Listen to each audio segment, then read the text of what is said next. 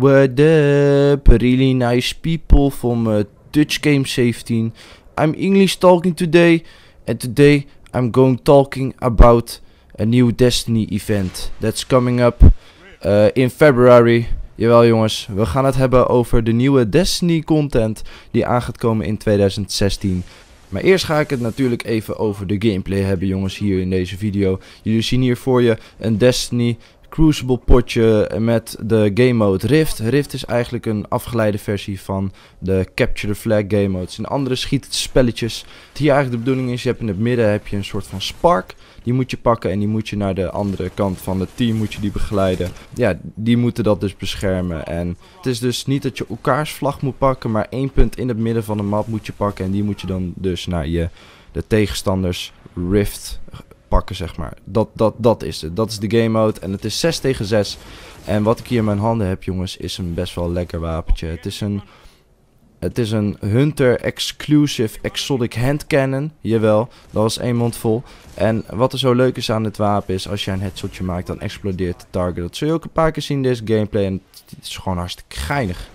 Ik ga ook best wel goed. Ik weet de score niet in mijn hoofd. Uh, het is ook wel een redelijke oude gameplay. Maar ja, dan gaan we het natuurlijk nu hebben over de Destiny events die aan zitten te komen. Het begint met de Crimson Days event. Het is een soort van Valentijns event. Dus het heeft te maken met Valentijn. Het event begint op 9 februari en duurt dan een week. Dus hij zou uiteindelijk 16, uh, 16 februari zou die dan weer afgelopen zijn. En 14 februari is het natuurlijk Valentijnsdag. En wat er dus met het event bij komt is dat je samen met je maatje of je Valentijn dus moet jij samen quest waarschijnlijk gaan doen. En er komt ook een nieuwe Crucible game mode bij, genaamd Crimson Crucible. Of Crucible Crimson, wat jij ervan wil maken. Wat dat inhoudt, wij hebben allemaal nog geen idee. Want wat ik altijd heb een beetje bij die Bungie weekly updates. Het is elke donderdagavond is er dan een nieuwe weekly update op de Bungie site. Bungie is namelijk de, de developers van Destiny. En daar, daar brengen ze steeds nieuwe kleine informatie uit over de game. En ze zijn dus in de winterperiode, dus eigenlijk van eind december tot met nu 21 januari, toen de update uitkwam, dus uh, donderdagavond, zijn ze heel lang stil geweest. En eigenlijk iedereen die verwachtte iets vet cools en dat soort dingen. En ze dachten, oh, Destiny 2 eh, gaan ze releasen donderdagavond, want hè, het is een weekly update. Iedereen verwacht iets groots. En dan komen ze met van, ja, er komt een nieuw event in februari. Het is Valentijns event, maar wat die Crucible game mode inhoudt. Dus de nieuwe gameplay. Ze zeggen er komt nieuwe gameplay, nieuwe mechanics komen erin.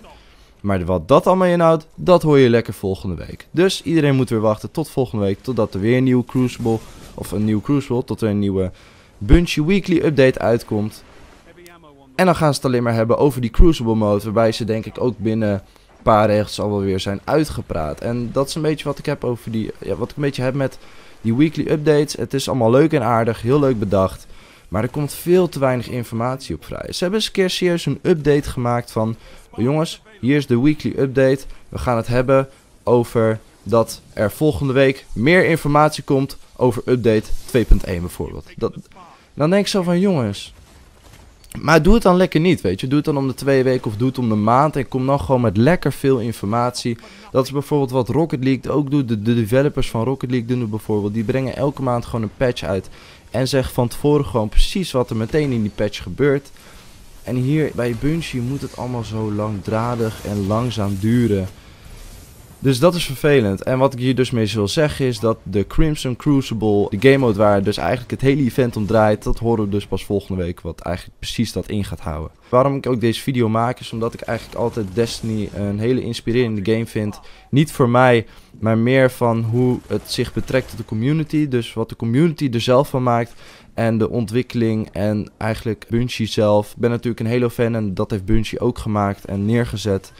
En wat ik eigenlijk gewoon heel bijzonder vind is uh, het project Destiny. Het is gewoon een project waar je zelf dus wel of niet aan mee wil deelnemen. En ik wil dat heel graag, omdat ik het universum zo potentieel goed vind. En je kan er zoveel dingen mee doen. En ik zie Bungie later in de toekomst ook heel veel dingen met Destiny nog gaan doen. Destiny, ik zeg niet dat Destiny nu een, een perfecte game is, is het zeker niet. Er zijn nog heel veel dingen kunnen veranderen. Bijvoorbeeld private matches in de Crucible, ik zeg maar wat. Of voting system in Strike playlist of Crucible playlist, dat soort dingen. Dat kunnen ze er allemaal in doen. En ze kunnen hier en daar nog wat tweaken met het light system. Weet je, er zijn altijd dingen die ze kunnen, ja, kunnen tweaken en dat gaan ze zeker ook wel doen. Maar... Uh, uh, wat er verder, verder in februari dus komt naast dat event is dus ook een nieuwe base game update. Waarschijnlijk dus gewoon kleine nieuwe dingetjes die weer veranderd gaan worden. Wat we eigenlijk ook kennen van de december updates.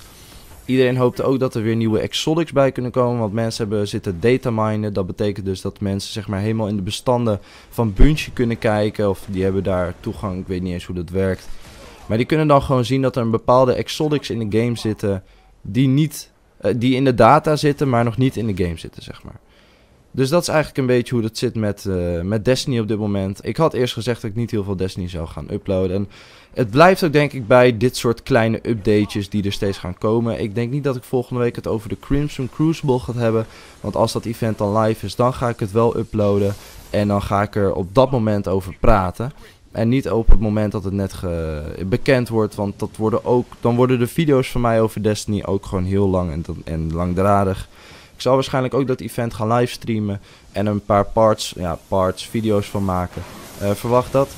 Verwacht ook trouwens, aanstaande dinsdag komt er een, nieuwe let's play genaamd The Witness. Ik heb er heel veel zin in. Het is een puzzelgame en ik hoop dat jullie een beetje zin hebben. Ik ga daar gewoon een lange serie van maken. Die developers zeiden dat ik daar 80 tot 100 uur mee bezig kan voordat ik dus de game heb uitgespeeld.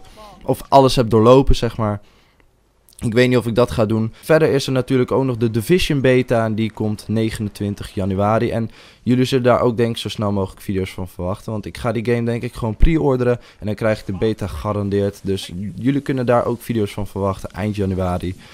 En daarna is het uh, rond half februari dat er ook weer games uitkomen. Precies uit mijn hoofd weet ik niet. Maar dat is een beetje de updates van het kanaal nu. Nu zijn het nog wat random video's. Uh, maar de series komen er snel genoeg weer aan jongens. En dan ga ik weer helemaal volle bak aan de gang. Kunnen je elke dag video's verwachten. En dit was ook de gameplay jongens. Ik bedank je voor het kijken. Geef hem ook even een lekker blauw duimpje. En abonneer gewoon even lekker op dat kanaaltje van mij en van Erik. En dan zie ik jullie de volgende keer weer bij een andere video die ik maak. En misschien wel bij The Witcher. Eh, The Witcher, The Witness. Laat boys. Pst, geniet het laatste stukje nog even van de gameplay. Zet er even een vet nummer onder.